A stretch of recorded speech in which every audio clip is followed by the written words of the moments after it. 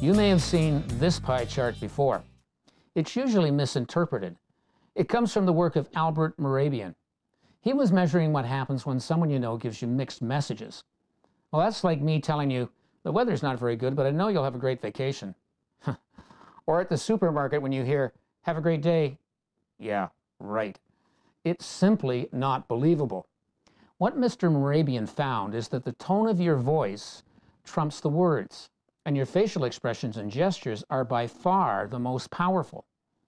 When your words don't match your feelings, moods, or beliefs, the nonverbal or tone or gestures win out every time.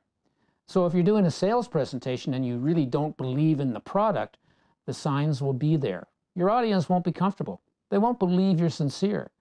When there's a conflict between the conscious and the unconscious, the unconscious will win every time. Always. I know that if I'm unsure, distracted, or if I'm not there mentally or emotionally, the presentation I'm about to give likely won't go well. So, you need to absolutely believe in your message.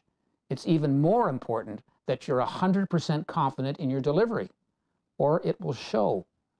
Giving a persuasive presentation, the first person you have to persuade is you.